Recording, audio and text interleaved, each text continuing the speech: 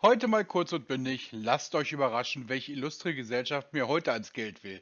Ich bin der Callcenter Crusher und nach dem Intro geht's los.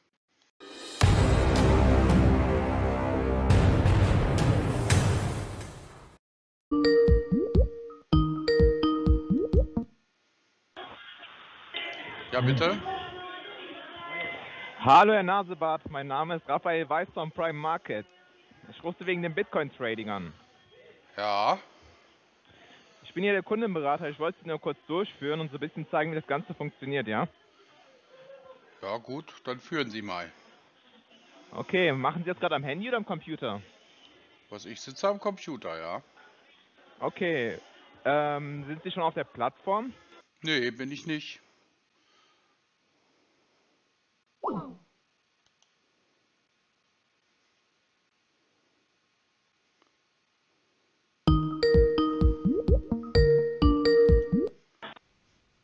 Ja, bitte?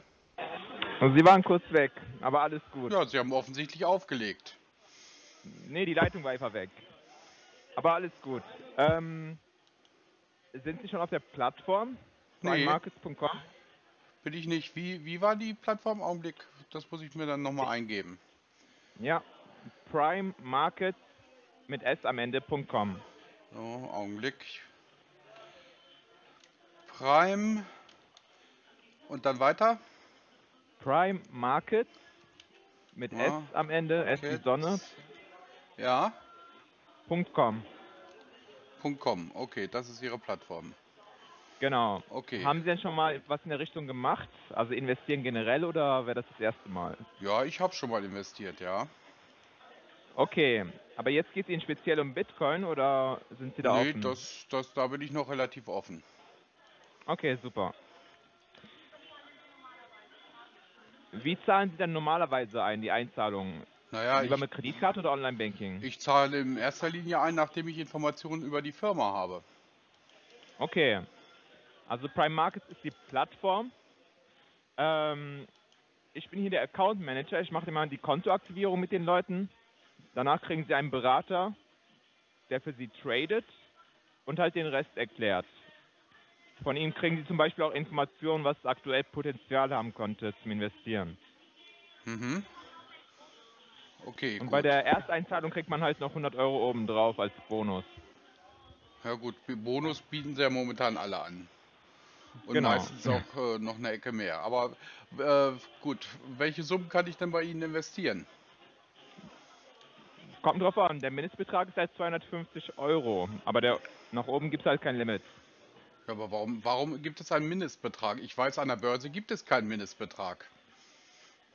ist halt eine Trading-Plattform. Beim Trading gibt es immer einen Mindestbetrag. Wenn Sie einfach normal in Nee, Aktien investieren, dann halt nicht. ja, aber grundsätzlich, es gibt, äh, es gibt, selbst bei den ganz großen Firmen gibt es keinen Mindestbetrag. EToro und so weiter. Nein, ist nicht so. Okay. Das ist jetzt Fakt. Ja, gut. Wenn Sie der Meinung sind. Äh, die Frage ist, äh, von wo sitzt Ihre Firma denn?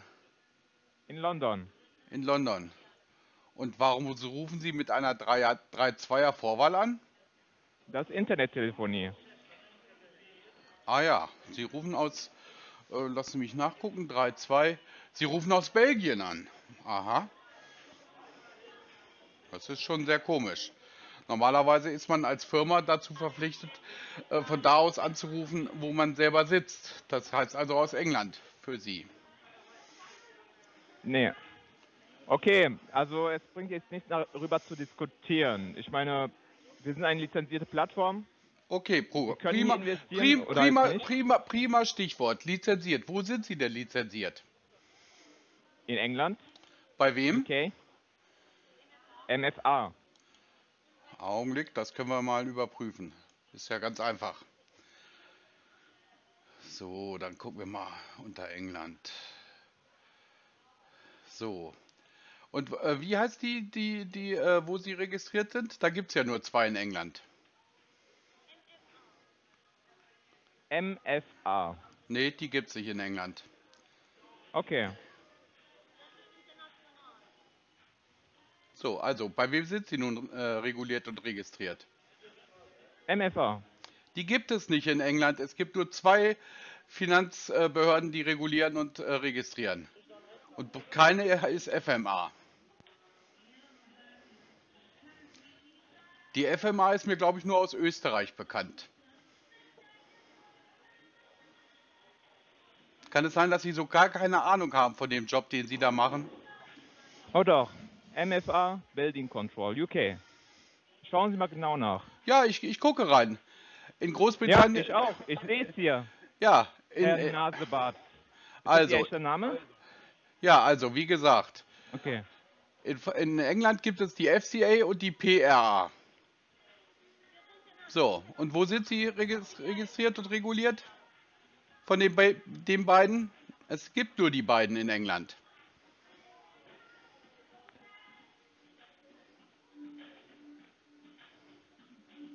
Na, was los? Schon am Ende mit Ihren Be Begründungen?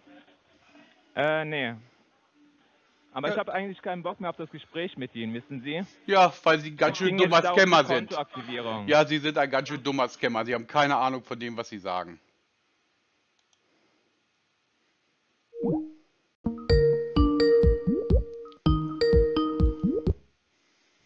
Ja, bitte.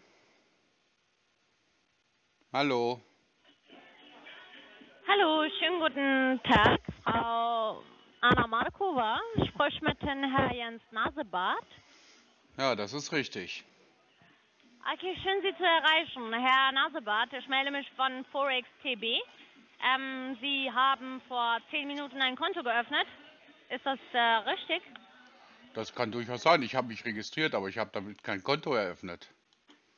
Ähm, doch, eben. Das bedeutet ja, eine Registrierung haben Sie gemacht. Ja, okay.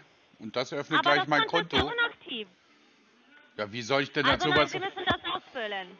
Ja, wie, Also die was muss ich Daten Sie ausfüllen? ausfüllen. Was muss ich ausfüllen? rechtlichen Daten, was haben Sie denn?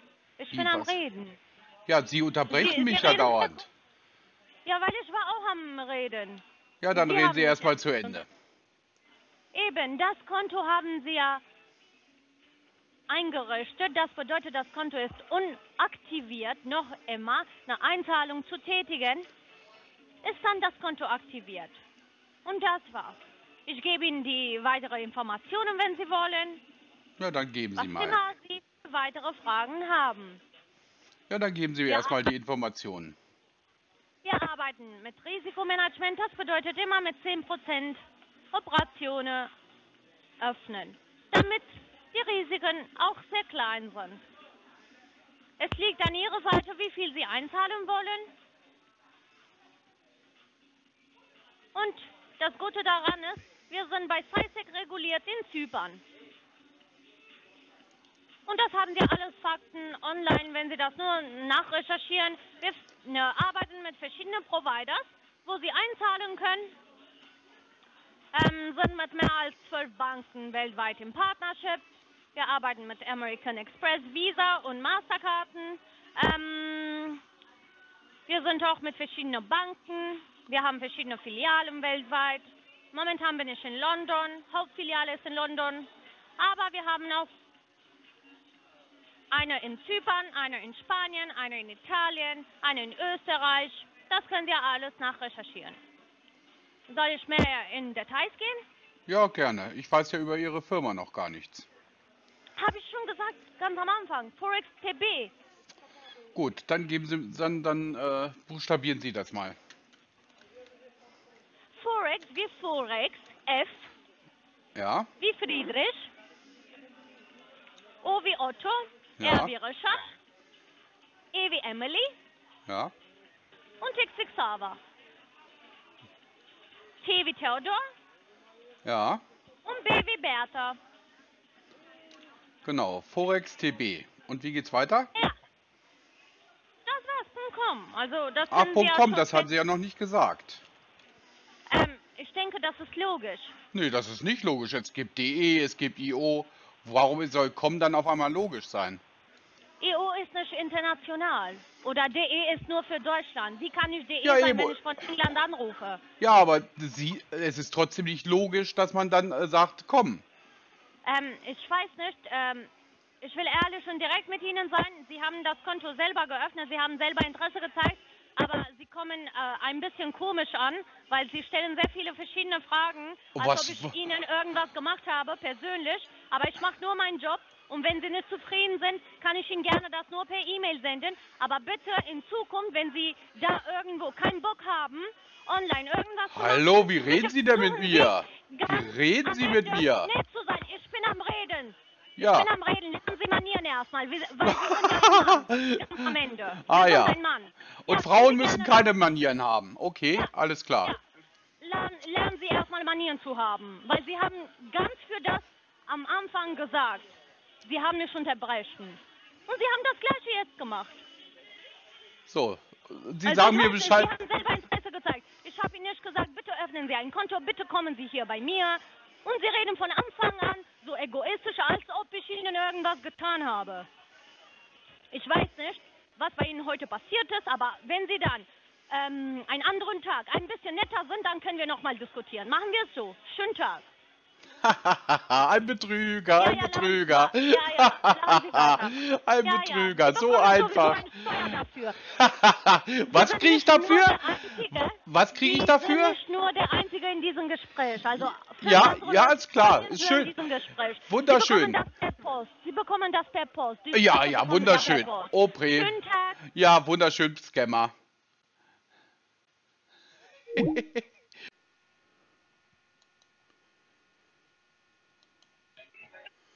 Hallo?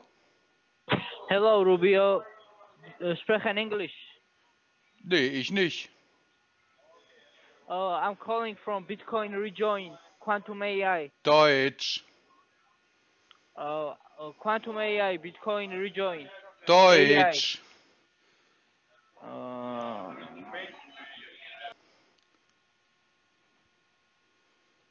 Oh Mann, wieder so eine Pfeife. Und vorbei. Hallo? Hallo? Hallo, guten Tag, Herr Nasebart. Guten Tag. Mein Name ist Stefan, Stefan Rossi. Ähm, haben wir schon mal miteinander gesprochen? Es geht ja um Ihren Handelskonto. Wüsste ich nicht, nee. Weiß ich Sie haben nicht. bei Bitcoin Bank Interesse gezeigt, richtig? Das kann durchaus sein. Ich habe das bei mehreren Seiten gemacht. Vor fünf Tagen, ne? Deswegen melde ich mich. Okay, gut. Ähm, haben Sie Ihren Konto schon aktiv gestellt oder noch nicht? Nö, wenn es aktiv wäre, dann hätten Sie mich ja sicherlich nicht angerufen, oder? Ja, stimmt, stimmt. So.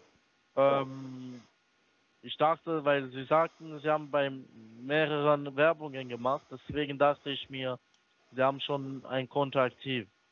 Ja, aber das Ähm, hat ja jetzt mit dem Konto bei Ihnen nichts zu tun, oder? Doch, weil Sie haben bei unserer Werbung Bitcoin Bank die Daten eingetragen und da steht, dass Ihr Konto immer noch inaktiv steht. Ja. Deswegen. Ja, und weswegen fragen Sie dann, wenn das da steht, dass es inaktiv ist? Ja, es ist inaktiv bei uns, aber Sie haben gesagt, Sie haben bei mehreres gemacht. Ja, richtig. Genau. Aber das kann doch Äh, woanders für- aktiv sein und bei Ihnen inaktiv. Wo ist jetzt das ja, Problem? richtig. Ich habe Sie nur angerufen, damit ich Sie fragen kann, dass Ihr Konto bei uns immer noch inaktiv ist. Ja, das ist dann so, ja, tatsächlich. Genau. Also wollen wir das aktiv stellen? Ja, äh, irgendwie weiß ich, äh, um das aktiv zu stellen, müsste ich ja erstmal ein bisschen mehr über Ihre Firma erfahren. Okay, dann ähm, kann ich Sie morgen erreichen. Ach, Sie rufen mich heute an, um mo- morgen anzurufen. Das ist ja schon ein bisschen Ja, wir seltsam. arbeiten mit, wir arbeiten mit Termine natürlich na- normalerweise. Ja gut, dann versuchen Sie es morgen. Alles gut, ne? Um welche Uhrzeit? Das kann ich Ihnen nicht sagen. Ich arbeite nicht mit Terminen. Müssen Sie einfach probieren. Ich weiß nicht, wie ich arbeiten muss. Alles gut. Bis morgen. Tschüss. Tschüss. Hallo? Hallo? Hallo? Herr Nasebart? Hallo, hören Sie mich? Ja, wer ist denn da? Herr Nasebart? Bitte, mein Name ist Helen Vogt und ich vertrete Pusten Sie bitte nicht so ins Mikrofon, man versteht Sie kaum. Bitte? pusten Sie nicht so ins Mikrofon, man versteht Sie kaum. Okay, alles klar. Hören Sie mich nicht, oder? Sie pusten immer noch ins Mikrofon. Also ich spreche ins Mikrofon. Bitte? Hallo? Hallo? Ja. Ja, wenn Sie nicht so das Mikrofon nicht so dicht im Mund nehmen, dann hört man Sie auch. Ja, ja, ich verstehe. Ja, alles klar. Also ich, äh, also ich versuche dann lauter zu, zu sprechen. Also, Ja, versuchen Sie äh, es. Äh, verspre- warten Sie mal, ich kriege gerade einen anderen Anruf. Äh, melden Sie sich gleich einfach nochmal. In einer Stunde. okay. Okay, alles klar. Ja. Hallo? Hallo? Schönen guten Tag nochmal, äh, Herr da Silva. Jakob Bergmann hier von der Roy-Republik. Ich rufe Sie an, da Sie sich bei uns auch angemeldet haben. Wollte mal nachschauen, ob alles im Rechten ist. Ja, ist alles im Rechten, danke. Ja, brauchen Sie vielleicht irgendwie spezifische Hilfe? Äh, Möchten Sie auch mit uns einsteigen? Ja, aber bis jetzt habe ich ja, das ist ja nun gerade erst äh, gewesen, also so genau weiß ich das noch nicht. Ich habe ja über Ihre Firma weiß ich ja noch gar nichts. Ach, über unsere Firma, klar. Also wir sind ja auch reguliert, auch in der FCA, auf der Börsenaufsichtsbehörde, ähm, haben auch unsere Lizenznummern. Und genau, also wir sind da in äh, Sachen Trading auch seit acht Jahren im Feld und genau, den Autotrader haben wir auch erst seit einem Jahr ungefähr. Ah ja, okay, okay. Äh, ähm, gut, okay. Sie sagen, äh, wie, wie war jetzt Ihre Plattform nochmal genau? Ich habe es schon wieder zugemacht, Äh, deswegen. Roy, achso, Roy Republik. Sie können auch nochmal gerne, wenn Sie möchten, nochmal nachschauen. Royal. Roy, also Richard Otto Ida und dann Republik mit C aber Welches- bitte. Und danach Ida, langsam, langsam, so schnell kann, kann man ja nicht Ja. schreiben. Richard Otto Gerne doch. Ida, Genau, und danach Republik, aber mit C, also auf Englisch, Republic, ja, Punkt, Punkt CO, für Punkt. Cooperative, CO bitte. äh, Roy Genau. Republik, okay, okay, Genau, gut, das ist auch unsere Seite. Ja, Und- Genau, und Sie werden auch natürlich auch immer zur Seite auch einen Finanzberater haben, der Ihnen immer auch stets dabei äh, hilft. Und genau, das sind wir dann. Dort können Sie es auch nochmal nachschauen. mhm, okay, gut, okay. Und Sie sind, äh, Sie sind eine englische Firma oder? Äh, Deutsch. Sind- Sitz ist Frankfurt, aber wir haben auch, ähm, auch in Österreich, Schweiz äh, auch noch, äh, sage ich mal, Stellen und auch nochmal in London auch. noch. Ne, nur weil Sie sagten äh, royrepublik.co, warum haben Sie dann kein DE als deutsche Firma? Äh, Das ist ja cooperative, also es ist ja auch, es geht ja nicht nur hier um Deutschland, auch mehrere, auch mehrere Länder mit da im verbunden und deswegen äh, ist es CO für Corporation. Ja, gut. Und Sie sagten, Genau. Sie sind lizenziert, dann sind Sie, äh, wo denn dann als deutsche Firma? Mit, mit was kann man bei Ihnen denn alles handeln? Das äh, erstmal. Also bei uns haben Sie Währungen, Krypto, äh, Rohstoffe und Aktien, Dividenden auf jeden Fall. Ah ja, okay. Die, genau, mit denen können Sie auch bei uns traden, handeln. Okay. Das ist ja schon Genau. mal gut zu wissen. Gut, und äh, Sie sagten, Sie sind eine englische Firma und Sie hatten irgendwas von FCAA gesagt, ne? Warum sind Sie dann nicht als deutsche Firma äh, in, in Deutschland registriert und In der reguliert? Frankfurter Börse sind, in der Frankfurter Börse sind wir auch reguliert. Natürlich, heißt, also wir haben ja noch Über, über die BaFin auch- dann au- auch, oder? Genau. Oh ja, das Schon ist, cool. das ist schon mal gut. Schon mal cool. Genau. Die FCA auch in London, die Börsenaufsichtsbehörde ist auch immer stets bei uns. Also da sind wir auch seriös seit acht Jahren mit dabei. Naja, gut, okay. Aber da, da ich ja hier in Deutschland bin, äh, können Sie mir ja dann sicherlich äh, Ihre BaFin-ID nennen. Genau, einen Moment. Die gebe ich Ihnen sofort. Bleiben Sie kurz dran, ja? Natürlich. Dum dum dum dum dum dum dum dum dum dum dum dum. Ich bin dein Vater. Hallo. Hallo. Jawohl, ich bin sofort auch da. Ich höre Sie auch, Herr da Silva. Ja, Ich schaue sofort mal nach, ja? Einen Moment bitte. Ich gebe Sie Ihnen sofort durch. mhm. Naja, unter sofort verstehe ich was anderes. Hallo.